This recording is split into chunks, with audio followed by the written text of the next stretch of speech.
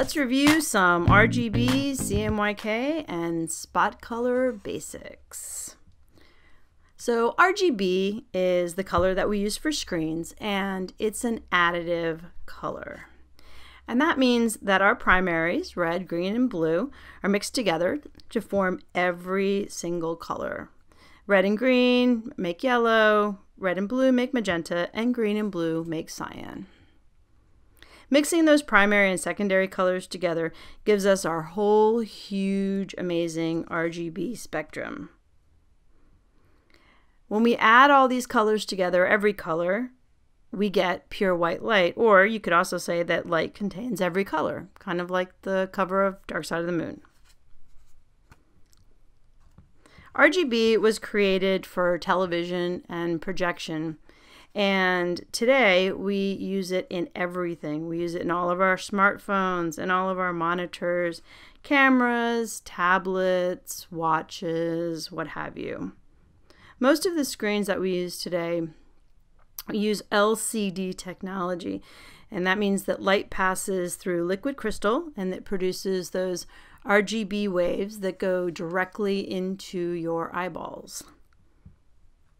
This spectrum, uh, RGB, is a huge, immense spectrum and has uh, unbelievable luminosity and possibilities.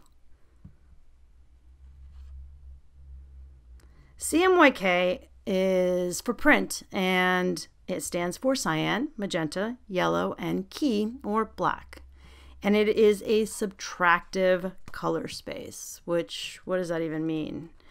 Well, if we review what happens with RGB, we remember that light passes through liquid crystal and produces um, those rays that go right into our eyes. So if we wanted to show something that was red, uh, we literally project that red wave right out from the screen and it goes directly into your eyeball, and then your brain is like, oh, it's red.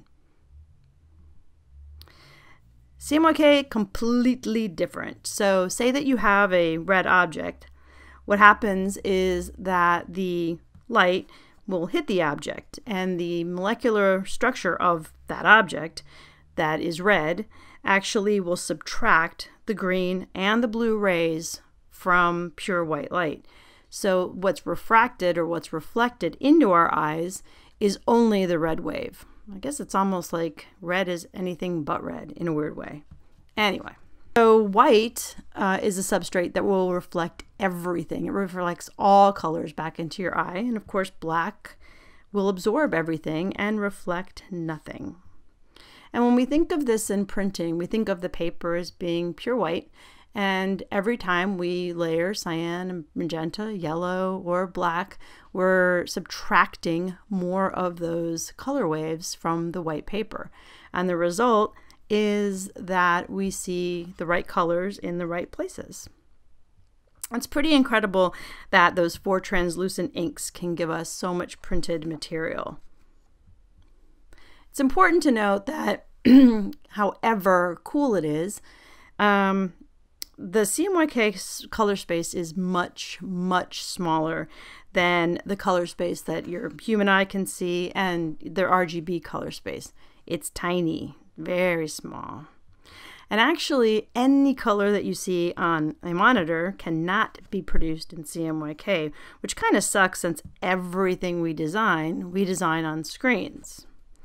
Entire industries have evolved to help us solve, solve this dilemma and be able to get more dependent color. So, spot color. What is spot color? It can be kind of confusing to new designers, but actually, spot color is pretty much really simple. In fact, you've been using spot color for your whole life. If you've used crayons or rubber stamps or fluorescent highlighters or wall paint or maybe nail polish, then you've used spot color. You pick the color that you want and it goes directly on the spot. So unlike mixing together cyan, magenta, yellow, and black to produce color, we literally get the colors that we want and we put them right on the spot. These colors can overlap, but they're solids. They're not like little dots like CMYK. We can refer to these colors as spot color, Pantone color, which can kind of be misleading sometimes, and PMS color, which I don't really like, which stands for Pantone Matching System. Spot colors are used when mixing CMYK just will not do. If you want vibrancy, metallics, for example, neons, and fluorescence. There's just no way to mix CMYK to get neon green. It's not going to happen. When you use spot color, you usually design a one, two, or three color piece because a screen has to be made for every place that the spot color goes. So, of course, you have to limit the colors that you use.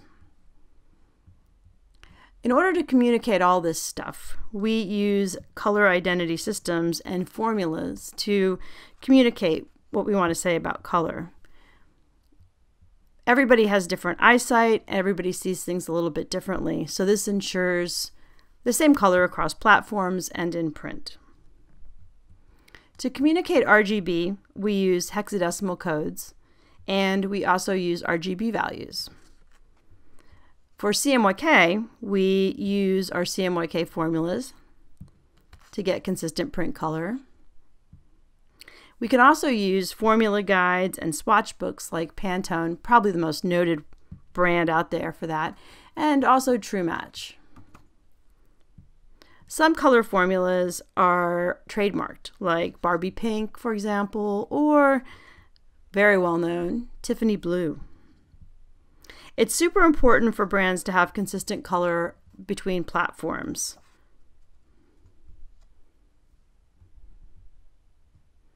So now that you know a little bit more about color, happy designing.